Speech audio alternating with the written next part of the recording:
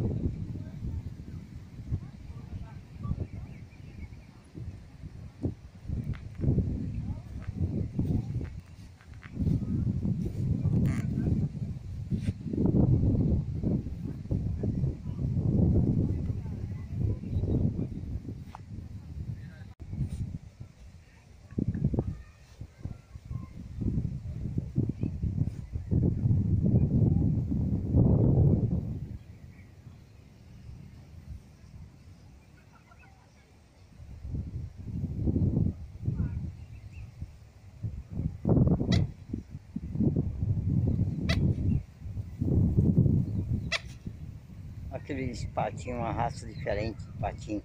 Ele tem a cabeça toda vermelhinha. Tem um barulho ali. Deixa eu ver se eu dou um zoom.